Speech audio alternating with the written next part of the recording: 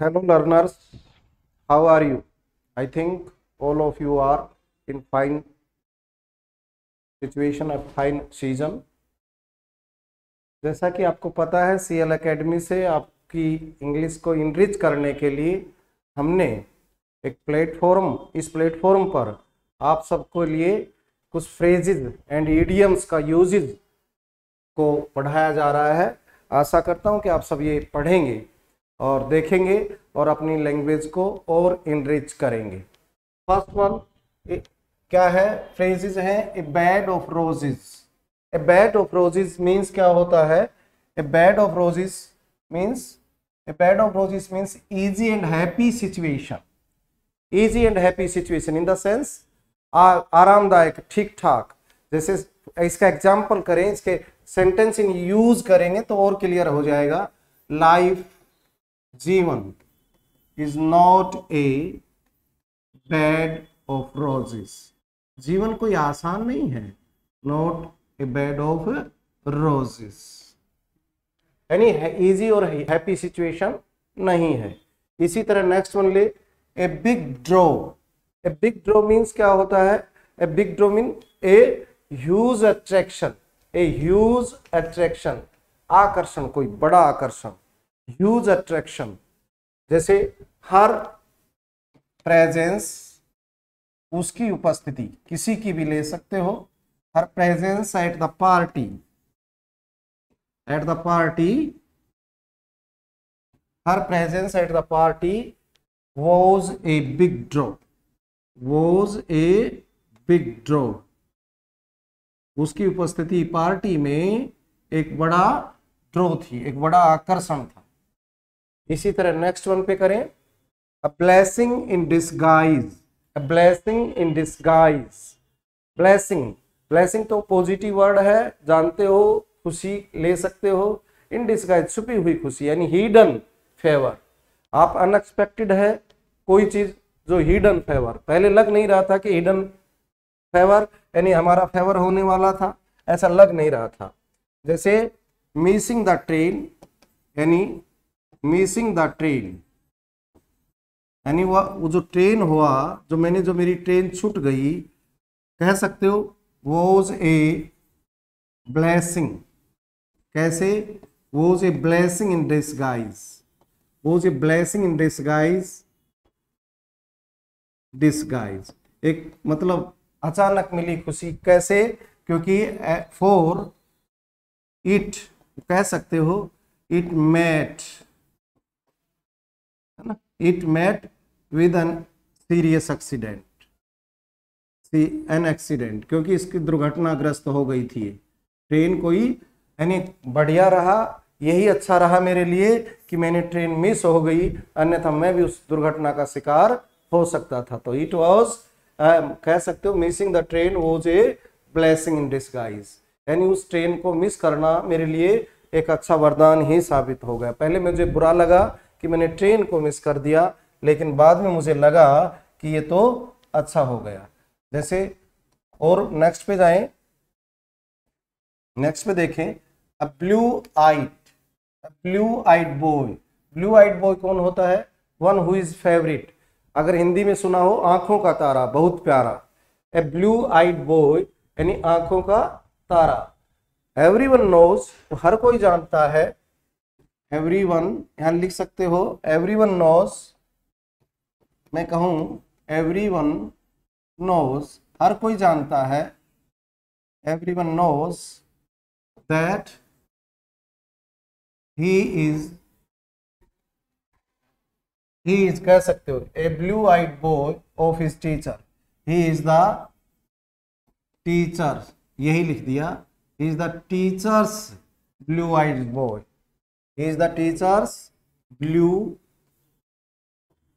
या he is the teacher's blue eyed boy वह उस टीचर का सबसे प्यारा बॉय है।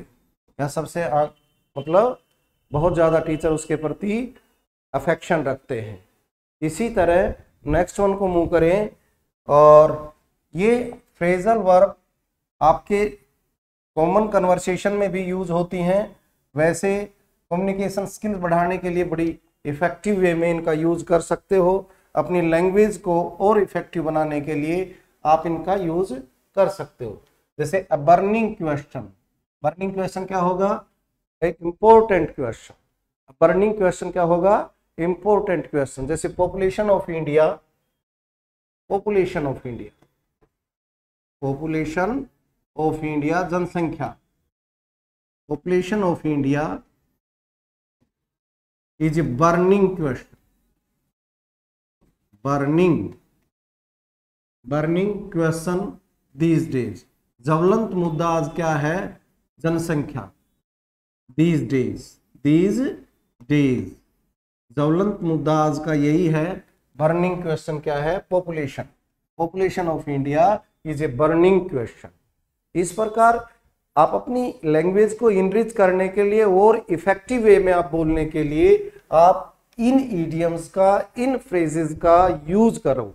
यूज़ करेंगे तो और भी आपकी लैंग्वेज और भी इफ़ेक्टिव बनेगी। जैसे नेक्स्ट वन है bone of contention bone of contention यानी झगड़े की जड़ जड़।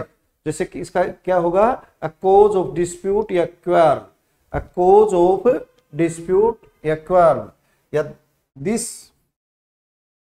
प्रॉपर्टी दिस प्रॉपर्टी कोई प्रॉपर्टी है हैज़ बिकम बन गई है हैज़ बिकम बन गई है a bone of contention a bone a bone of contention a bone of has become a bone यहाँ लिखेंगे a bone of contention झगड़े की जन जड़ बन गई है contention contention between the two brothers कोई दो भाइयों के बीच में हो सकता है टू फ्रेंड्स के बीच में हो सकता है बिटवीन द टू ब्रदर्स दोनों भाइयों के बीच में ये झगड़े की जड़ बन गई है। यानी बोन ऑफ़ कंटेंशन का मतलब हो गया cause of dispute cause of dispute इसी तरह नेक्स्ट वन ले। इसी तरह नेक्स्ट वन ले। क्या? Cake walk cake walk cake walk क्या होता है बेटे? समथिंग वेरी इजी कोई बहुत आसान सी चीज़। Cake walk cake walk something very easy something very easy बहुत आसान। जैसे सॉल्विंग योर प्रॉब्लम या दिस प्रॉब्लम या योर प्रॉब्लम ले लें। योर प्रॉब्लम यहाँ ले। Your problem your problem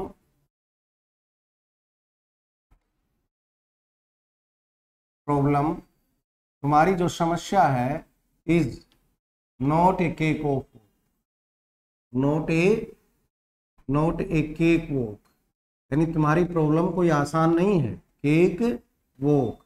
इसी का दूसरा सेकंड एग्जांपल बना सकते हो। सोल्विंग योर प्रॉब्लम तुम्हारी समस्या को सरल करना is not a cake walk इसी तरह सेम है इसका। दोनों इन इडियम्स का सेम मीनिंग निकलता है। ये सेकंड आप बनाना, आप कोशिश करना ए चाइल्ड प्ले ये भी इजी होता something very easy something very easy जैसे विनिंग जीतना। Winning winning prizes winning prizes is not a या विनिंग प्राइजेस विनिंग यहाँ ले ले। Winning prize is not is not a child's game prize जीतना बच्चों का खेल नहीं है या बहुत आसान कार्य नहीं है। नेक्स्ट वन पे जाए। नेक्स्ट वन क्या हो सकती देखो। नेक्स्ट वन नेक्स्ट वन ले ले। क्या होगी? नेक्स्ट वन हो जाएगी close a close save a close save a close save यानी नैरो एस्केप बाल बाल बचना बाल बाल बचना a narrow escape a close save का मतलब होगा नैरो एस्केप क्या बना सकते हो? Yesterday yesterday I I had an मैं कल बाल बाल बचा। I had a close save when I met an accident जब मेरी कल एक दुर्घटना हुई, मेरे, कल में एक एक्सीडेंट मेरे साथ हुआ तो मैं बाल बाल बचा। I when I met an accident next one देखें। नेक्स्ट वन देखो बेटा। A cold fish a cold fish someone who does not share feelings someone who does not share feelings या इसी को कह सकते हो अनइमोशनल अनइमोशनल जो अनइमोशनल हो, या जो अपनी फीलिंग शेयर ना करे। जैसे सी या ही कुछ भी लगा सकते हो सी या ही या my brother my sister my neighbour कुछ भी इज़ ए कोल्ड फ़िश। वह अनइमोशनल है। Cold fish. Cold fish. He is a cold fish या she is a cold fish इस तरह ये ईडियम्स आप अपनी कॉमन कन्वर्जेशन में भी यूज़ कर सकते हैं। और काफ़ी आपकी लैंग्वेज है, उस इफ़ेक्टिव हो जाएगी। जैसे नेक्स्ट वन है अ क्लोज फिस्टेड पर्सन काफ़ी बार सुना होगा a close fisted person close fisted person का मतलब हो गया माइजर माइजर का मतलब हिंदी में अगर आप करना चाहो तो कंजूस माइजर है ना? Close fisted person he is a, he is a close fisted person.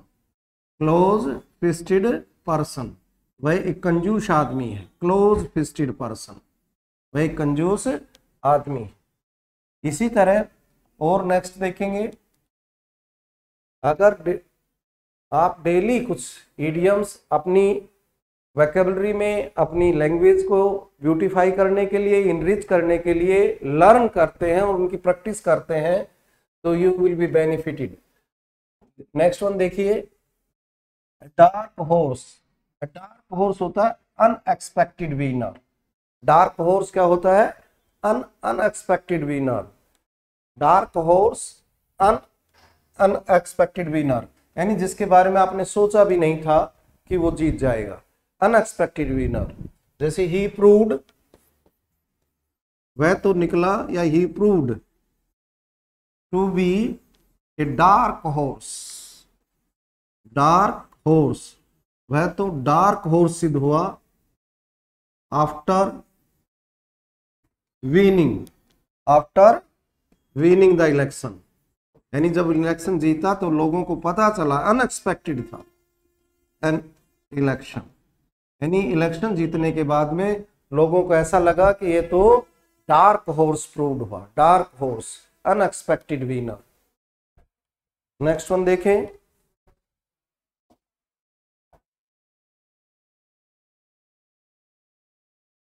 इसी तरह. Dime in a dime a dozen dime a dozen का मतलब होगा वेरी कॉमन या ऑफ़ नो यूज़ इनसिग्निफिकेंट भी कह सकते हो वेरी कॉमन बहुत ही आम आम सी कोई हो। दिखने में चाहे कैसी हो। जैसे दिस बुक कह सकते हो is a dime a dozen ये बुक बहुत ही कॉमन सी बुक है। Dime a dozen dime a dozen this book is is a dime dozen is a dime यानी बहुत ही कॉमन बुक है। कोई ज़्यादा एक्स्ट्रा ऑर्डनरी बुक नहीं है। किसी के बारे में कह सकते हो। This property this book this person के बारे में भी यूज़ कर सकते हो। नेक्स्ट वन निग्नॉग निग्नॉग फूल निग निग्नॉग होता है फूल मूरख. फूल फूल इसका क्या बना सकते हो? यूज़ करो। क्या कर सकते हैं? इज़ नथिंग वह कुछ भी नहीं है, सिवाय एक मूरख के। Is nothing is nothing but a निग्नैक but a निगनेक वह कुछ भी नहीं है, बस केवल एक मूरख से अकल नहीं है। निग्नो नो नोट। मैंने गलत बोल निग्नो ठीक करेंगे। निग्नो क्या होगा? नो निग्नो निग्नो मीन्स फूल नेक्स्ट वन देखिए। नेक्स्ट वन देखो आप। A drop in a bucket a drop in a bucket something very small something very small something very small यानी बहुत थोड़ा लिटल समथिंग वेरी स्मॉल जैसे यू हैव जैसे this money या this amount this amount is a drop in a bucket जो ये राशि है तुम्हारे पास, ये ऊँट के मुँह में जीरे के समान है, थोड़ी है, बिल्कुल very small this this amount is a is a drop this amount is a drop in a bucket यानी जो तुम्हारे पास जितना पैसा है, ये तो एक ऊँट के मुँह में जीरे वाली बात है। You have to get more तुम्हें और पाना चाहिए। इसी तरह सेम है। इसका मीनिंग भी सेम है। A drop in the ocean ये भी यही होता है। Something very small something very small जैसे ये है वट यू हैव जो तुम्हारे पास है वट यू हैव जो तुम्हारे पास है इज़ ए ड्रॉप वो बहुत थोड़ा है। Drop in the ocean in the ocean इसको अपन थोड़ा सा in the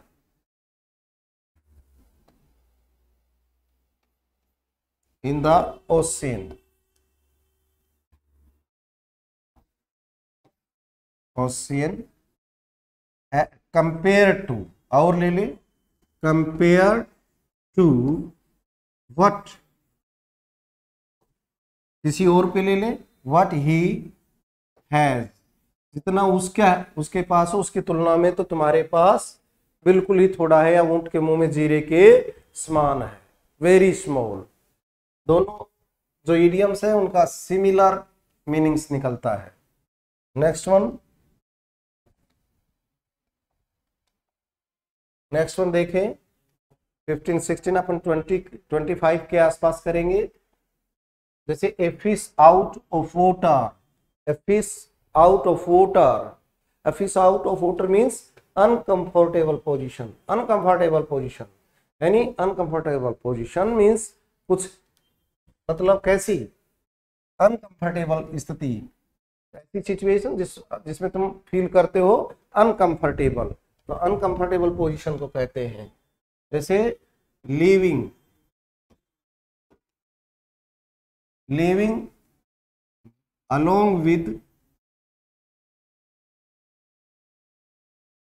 them इसको ऐसे बना सकते हो। उनके साथ रहना is is like fish out of water is like a fish of water यानी एक तरह से फ़िश ऑफ़ वोटर मैं बेचैन महसूस करता हूँ। या इसी की तरह कह सकते हो दूसरा सेकंड यूज़ कर सकते हो। Living away from family living इसी का अपन सेकंड यूज़ करते हैं, देखते हैं। लिविंग अवे फ्रॉम फैमिली परिवार से दूर रहना is a is like a is like a fish of water बेचैनी महसूस करना होता। फ़िश ऑफ़ वोटर इस तरह यूज़ कर सकते हैं नेक्स्ट वन देखें। A man of letter a man of letter scholar scholar in the sense well educated, पढ़ा लिखा। कह सकते हो, my brother is a man of letter. My brother is a man of letters. मेरे विद्वान हैं। कौन? ब्रदर। मेरे ब्रदर पढ़े लिखे हैं। इसी तरह नेक्स्ट वन पे चले। ग्रीन हॉर्न ग्रीन हॉर्न होता है एन एक्स इनएक्सपीरियंस पर्सन अनुभवहीन, जिसका अपना अनुभव अपने फ़ील्ड में ना हो, अनुभवहीन अनुभवहीन। जैसे ही इज़ यही लिख दिया he is a green he is a green horn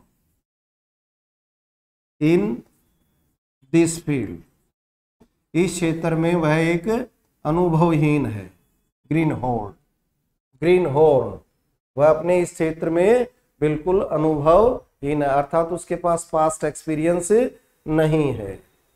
इसी तरह नेक्स्ट वन पे जाएँ।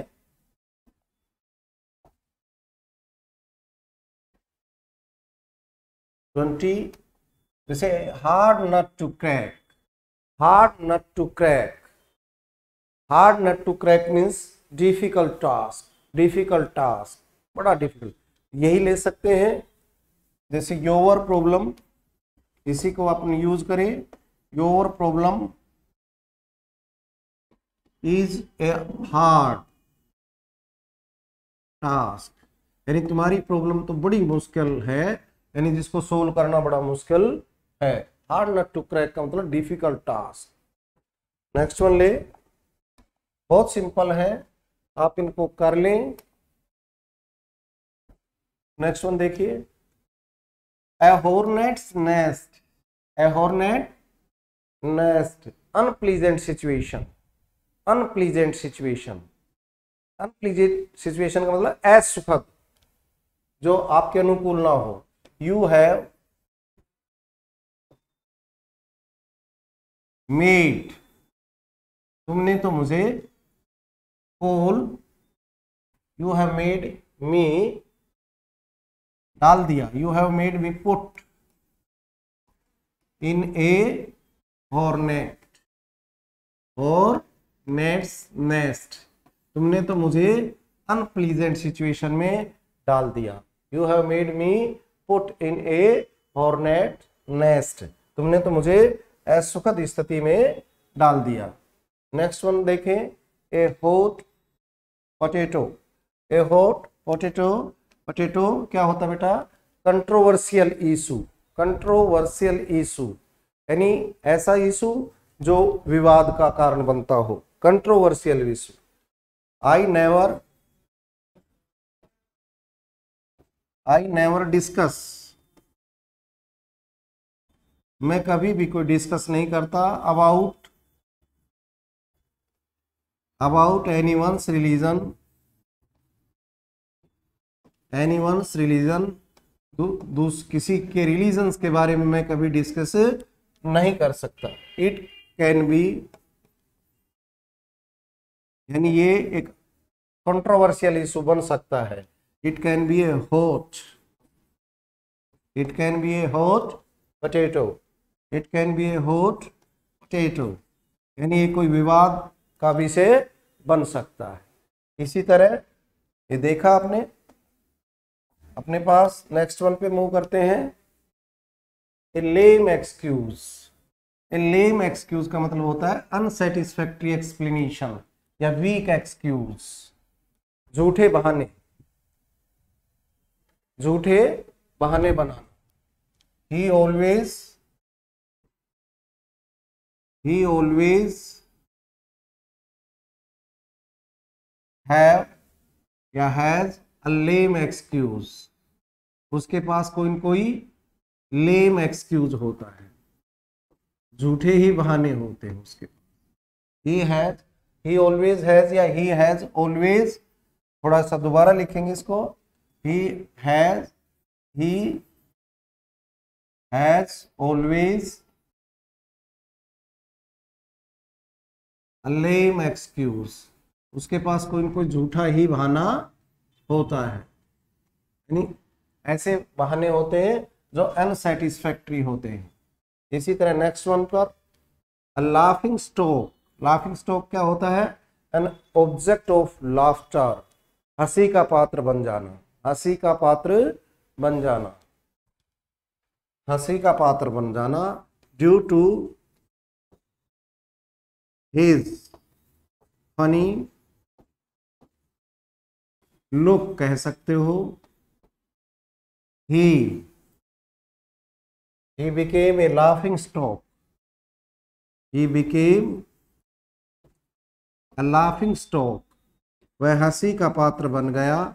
Laughing stock at the party funny look होने के कारण वह पार्टी में हँसी का पात्र बन गया।